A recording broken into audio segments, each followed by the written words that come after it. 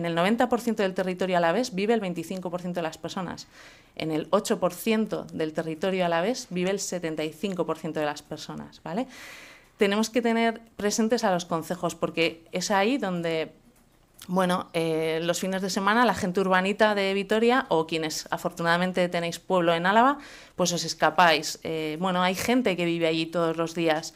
Los autobuses, los sábados y domingos, mm, reducen sus horarios de, desplazamientos. Hay gente que vive los siete días de la semana en los pueblos.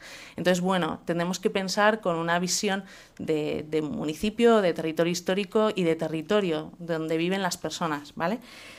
Em, y una estrategia esencial para que las mujeres eh, decidan o, puedan participar es que en su ámbito más cercano, su familia, sus amistades, la comunidad vecinal, eh, sea corresponsable de los cuidados y de la atención a aquellos temas que de otra manera las mujeres tendrían que dejar todo preparado en casa, eh, dejar todo listo para los cuidados de criaturas o personas mayores y ya cuando tengo todo listo, pues ya me puedo ir a la reunión del consejo o de diputación.